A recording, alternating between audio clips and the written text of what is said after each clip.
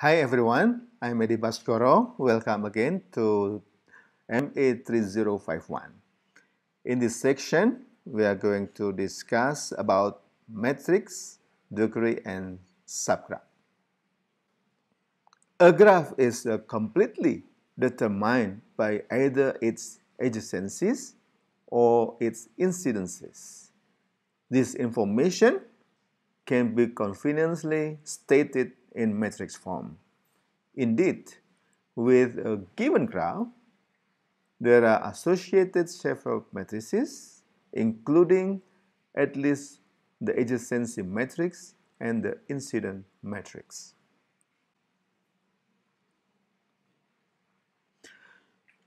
Let G be a graph, a general graph, not necessarily sim simple graph.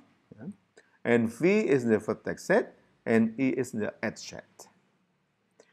The adjacency matrix of G is defined as the n times n matrix A eh, with the Aij is the number of edges joining between AI and AJ.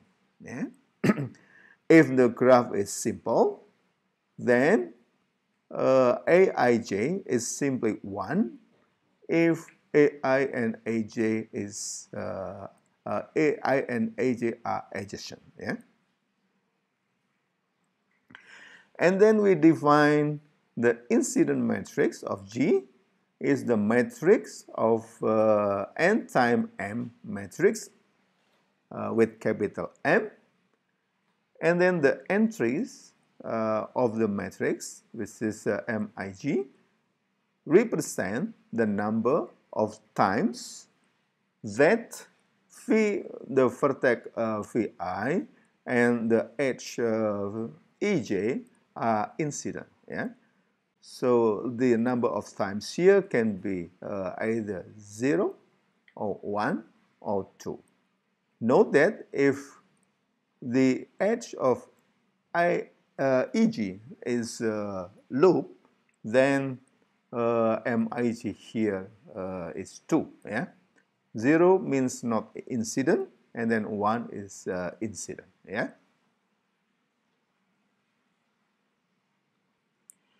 Now consider the following graph G with uh, 5 vertices and uh, 8 edges here. Yeah?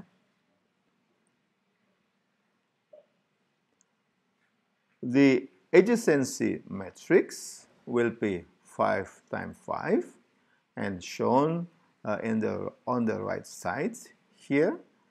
For example, look at the vertex B here.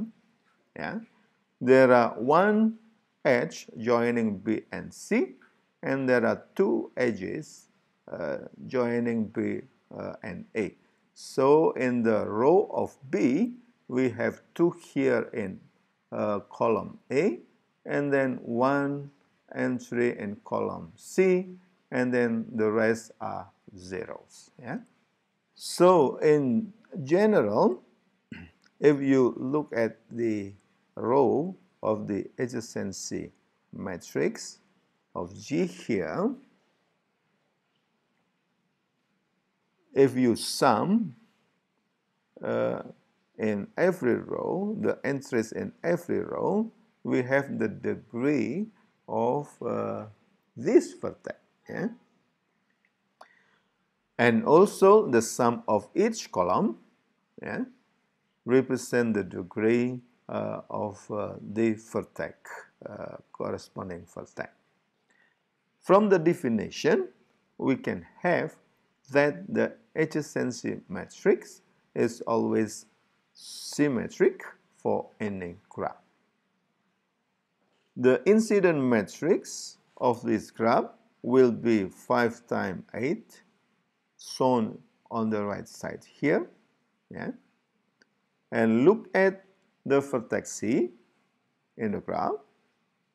This vertex is only incident with edges E4, E5, and then E6. Yeah. is 7, sorry. In the corresponding row, here we have 1 only in E4 and then E5 and E7. Yeah. Now consider vertex E. This vertex only incident with edges E1 and then E6, E7 and E8. Yeah. So in the corresponding column, yeah, we have ones except for column EH. We have two because uh, EH is a loop, is a loop. Note that in each column we have uh, exactly two entries of uh, ones, yeah, since each edge incident to two vertices. Yeah. Note that uh, loop we counted twice. Now let us consider another example. We have a graph G with uh, five vertices and five edges. Then we have the adjacency matrix of this graph. This graph is a simple graph on the right side. Yeah, this is the adjacency matrix of this graph. You can check easily. Now, if you exchange the labeling of the vertices, for instance, A and E, we exchange the labeling like in this diagram, then the adjacency matrix of this graph after relabeling vertices is shown here. Yeah? And this matrix can be actually obtained from the above matrix by exchange the row A and E and the column yeah, A and E. From algebra, we know that these two matrices have the same property. Okay, I give you three problems for uh, the exercise. Now, a graph H is a subgraph of G. This is the symbol of the subgraph. If the vertex set of H is a subset of the vertex set of G and the edge set of H is a subset of the edge set of G. We call H is a proper subgraph of G if H is a subgraph of G and H is not the same uh, or not equals G. Yeah? So that means uh, phi H uh, proper subset of G or EH proper subset of EG. H is called a spanning subgraph of G if the set of vertices of H equals the set of vertices of G. And the induced subgraph by phi1 denoted by this symbol, phi1 is a subset of phi, is the subgraph whose the vertex set is phi1 and the edge set is the set of those edges of G that have both ends in phi1. Yeah? And then this symbol G minus phi is the subgraph of G obtained by, remove, by removal of vertex V and all edges incident to, to V. Yeah?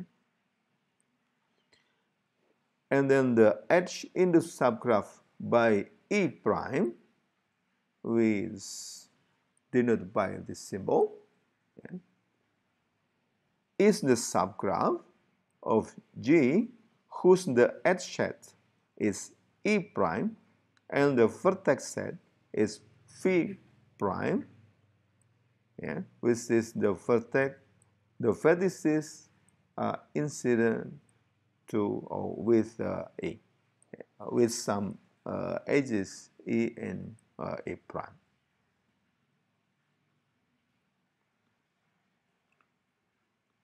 Now consider example here.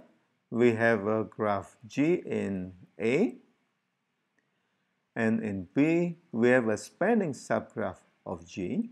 Yeah? This is only one of the spanning subgraph of G. We have uh, we, we can have uh, more than one uh, in general a spanning subgraph of G. And then in C uh, we have a subgraph uh, by remove by removal uh, the vertices u and w yeah? So we remove u and w here we obtain this subgraph yeah? And then in d we have a subgraph of g by removing uh, by removing the edges a and then b and f yeah? A b and f so we have all this subgraph.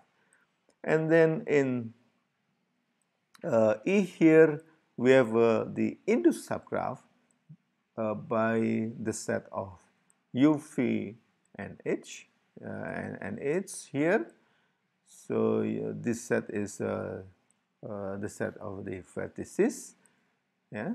So we having this yeah and this one edges yeah and then the last one this is the example of the subgraph induced by the set of edges yeah. The edges here we have uh, a four edges yeah. So this is the subgraph uh, induced by the edges. Now we define the degree of a vertex v in g. The degree of a vertex v in g is simply the number of edges of G incident to phi with phi. Note that each loop contains as twice uh, edges here.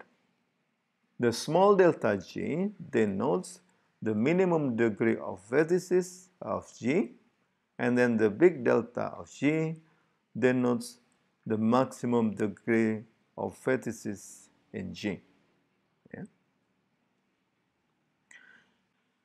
A graph G is k-regular if all degrees are the same, which is k.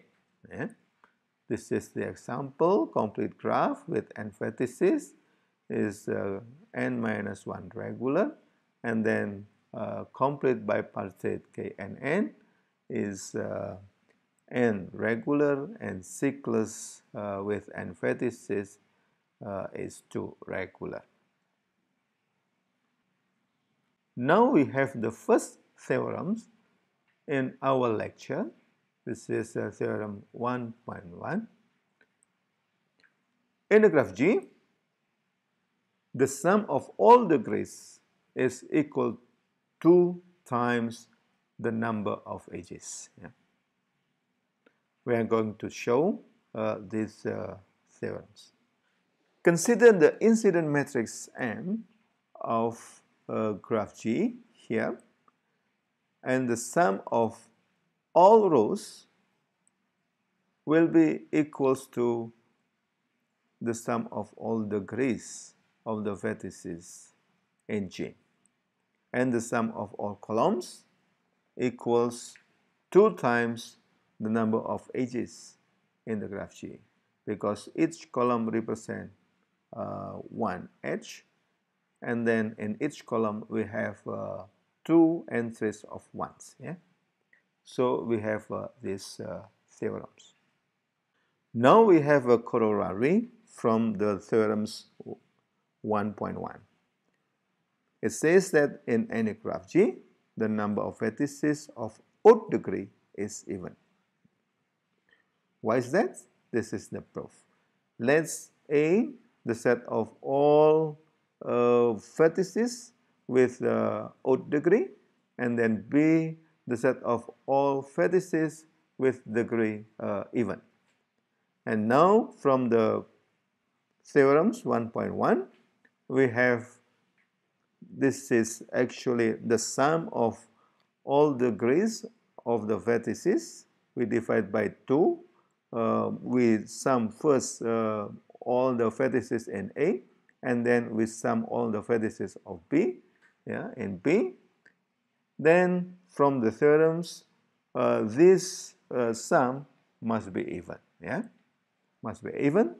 Then since the sum of uh, all vertices in B, yeah, degree in B, yeah, is always even, then this one, the sum all the vertices in A must be also even.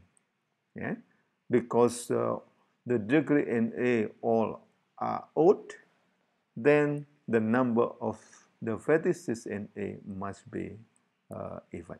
Yeah. So we have this uh, corollary.